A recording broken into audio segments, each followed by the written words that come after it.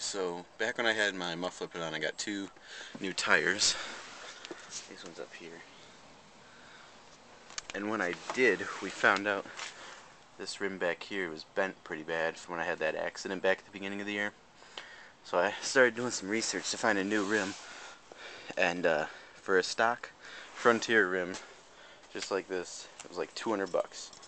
So I did some looking on Craigslist. And I found some new rims.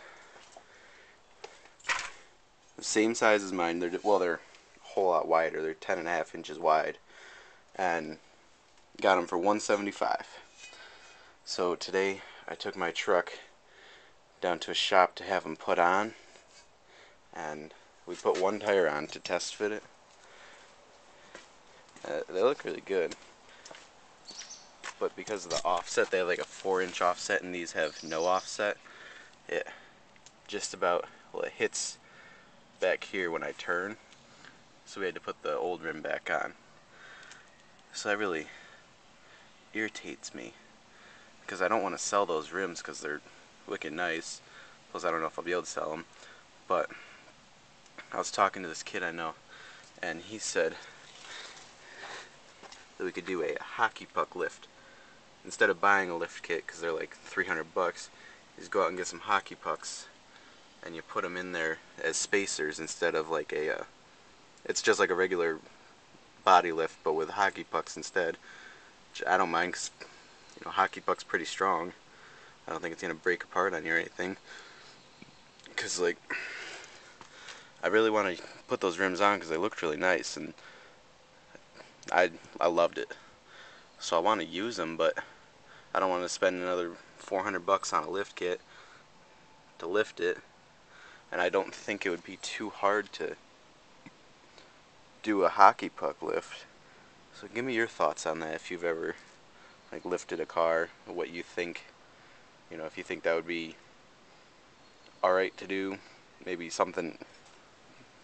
So give me your thoughts on what you think about doing a hockey puck lift, if you think that would be a good idea, bad idea, maybe some other suggestions. Because I, I suggested the guy cutting out the uh, fender so it would fit but I know there's no fender over here. But that's not going to give you too much more clearance because there's still this piece here that sticks out and that that'll probably hit when you turn. So pretty much like the only thing you can really do is a body lift. The guy at the shop said two inch body lift and you should be alright. It should clear it. Plus another thing is my torsion bars are just shot. They're um, cranked all the way as high as they'll go. I got this big bumper on the front so that brings it down a little bit more. I mean, I don't think it'd be too hard to do a hockey puck lift. I got one mount there, mount there, and there for the cab, and then there's a few on the bed. So I think it might be doable. The only thing I'm not sure about is the uh, the steering.